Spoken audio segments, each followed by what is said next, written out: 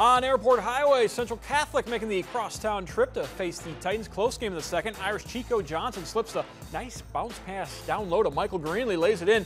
Central with an eight-point lead. In the third quarter, adding to it, Johnson from outside, eyes it, flies it, three is good. Central building a 12-point lead, but in the fourth, defense bringing the Titans back. Thomas Zyros the block, triggers the fast break. CJ Hornbeak back to Zyros for the transition hoop. We are tied at 53.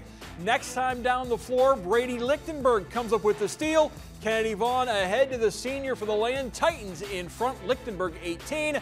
St. John's wins 63-59. Hornbeak 24 in the win as the Titans go 23 of 31 from the free throw line.